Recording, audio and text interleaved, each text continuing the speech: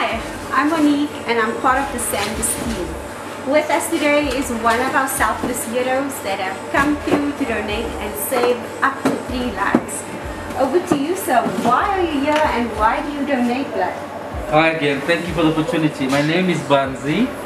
I have been a donor since uh, the 90s. I donate platelets, uh, which are over there, and, uh, and plasma at the same time. This is plasma. That's platelets over there.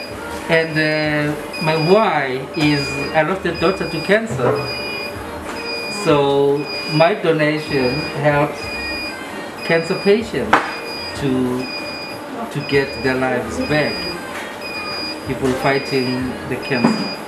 And I just love it, you know, because my endorphins get up when I do and when I give like I do.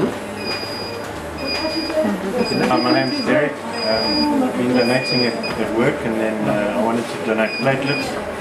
And the best place to donate is in Benoni.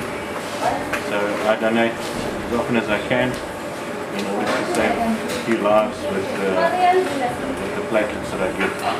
And uh, I encourage everybody to donate if they can, especially anyone over, over 16. If you start early, it's a very uh, rewarding experience.